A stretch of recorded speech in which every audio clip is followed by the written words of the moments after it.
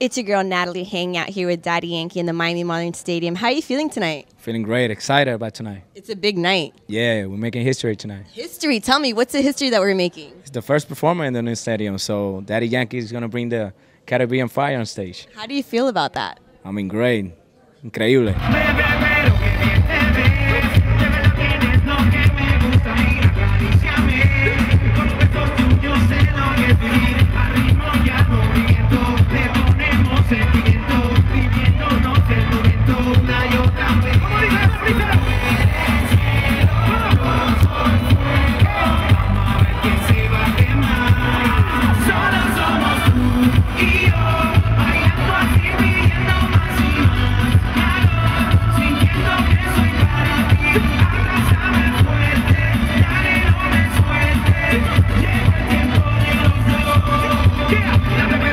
Heard out there that you wanted to be a professional baseball player at one point in your life. Yeah, that was right. That was my dream, you know, since I was growing up in Puerto Rico.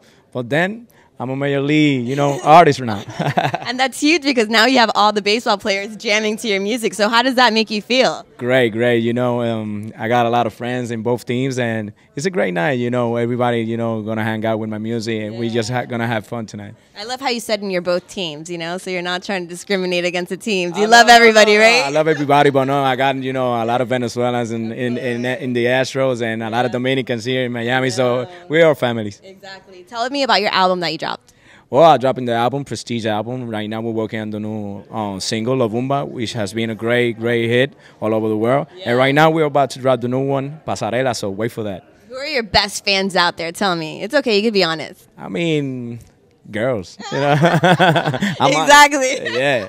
The girls get crazy when they see you. And how how does it feel when you go to different countries and people don't even speak Spanish or English and they're out there jamming to your music, singing along? I mean, um, that's the beauty of my job. I mean, music is a universal language, and it's my challenge to keep conquering all the countries out there with my own language. So I've been doing great, you know, I've been blessed. Yeah, you've been very blessed. Tell us about your cologne because everyone wants to smell like you now. Yeah. Going? yeah, great, incredible. I had to give you one, baby. Yeah, you have to give me one. I can't wait because I'd love to smell like you. I'd feel like I have you around me all all times. That'd be great. Yeah. Thank you so much. It's been a pleasure. Thank Pleasure, you, Daddy man. Yankee.